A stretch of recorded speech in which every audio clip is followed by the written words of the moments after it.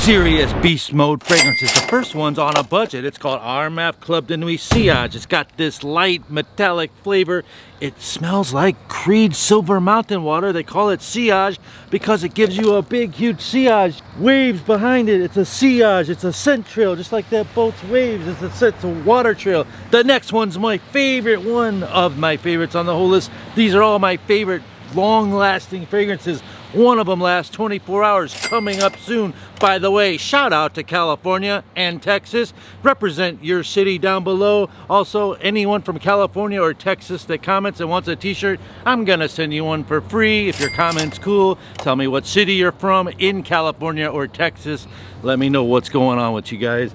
The next fragrance is called Mancera Cedrat Boisé. What do you got here? We have a grill. You take some pineapple and throw it on that grill and it smells like smoky pineapple. What a delicious effing fragrance. It smells so good. It, my God.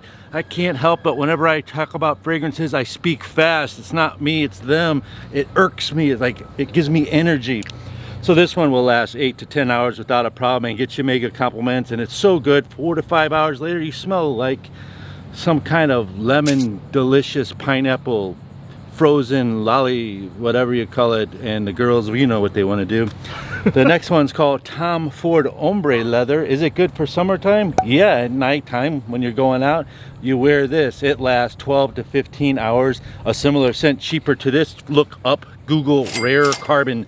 The next fragrance is Bomb 2022. Opens up synthetically garbagey trash and you'll go, this guy's an idiot. He doesn't know what he's talking about. This is called Invictus Platinum and it opens up terrible like right now. Ugh, I hate it. That's kind of sweet but I can tell there's lots of chemicals in it.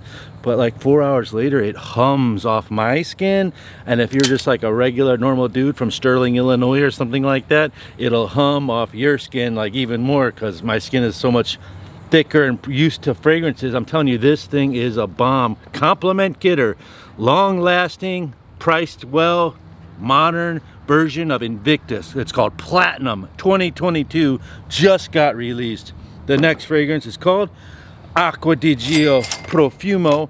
This is just a dangerous fragrance that'll just get you mega, mega compliments. It's all I gotta say. Minimum eight hours lasting, but I'm getting 12. I've, I've worn this at 8 a.m.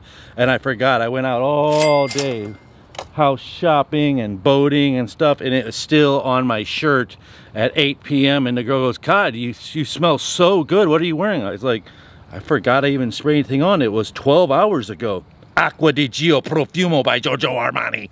The next fragrance is a fragrance that I just fell in love with again because I lost it. It's so small and so expensive, but look, I have sprayed the SHI fill in the blank out of this. I mean, I sprayed this like like this on everywhere and I've worn this 15 times and it's still way up to the top.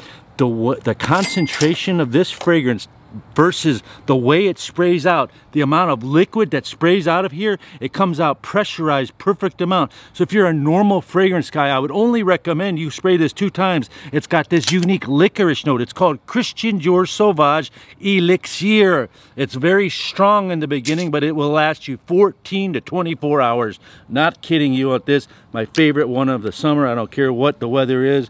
This thing is like sex in a bottle. And again, it's small, but that scent sprayer, it disperses the perfect amount. If you like videos like this, check this one out. YouTube's algorithm thinks you like it. Let me know down below if that's actually a video you like to see if they're right. Uncle Chris thinks you're gonna like this video. Peace and love.